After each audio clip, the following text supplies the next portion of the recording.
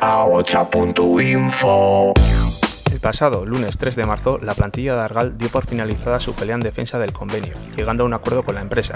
Concentraciones, pitadas a la gerencia, manifestaciones multitudinarias en Lumbier, encierros en la fábrica, paros parciales del 100% de la plantilla, cortes de carretera, reivindicando un convenio justo, han conseguido que la dirección de Argal cese en sus intenciones de condenar a las próximas generaciones de la planta a la eterna precariedad.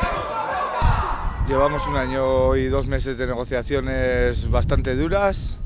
Pues la empresa solo quería recortar, quitar nuestros derechos y aplicar la reforma laboral.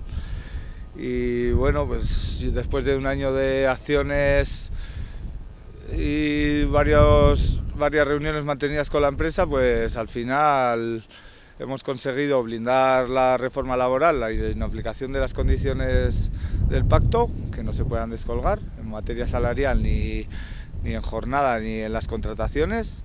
Hemos conseguido con estos tiempos 34 contrataciones indefinidas para los próximos cinco años, que consideramos que eso también es bastante importante. Yo lo que quería resaltar así, pues un poco de manera general, es eh, la, la, unidad y la, la, capacidad de movilización que, que ha tenido tanto la plantilla de Argal, que todos hemos estado a una, pues, eh, desde haciendo paros, pitadas, encierros en la fábrica, encierros del comité, cortes de carretera.